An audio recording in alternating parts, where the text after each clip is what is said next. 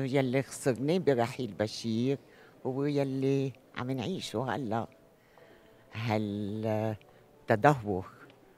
من كل النواحي.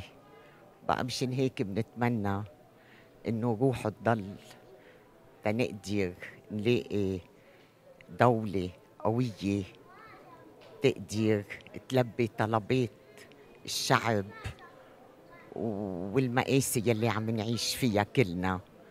بقى. إن شاء الله.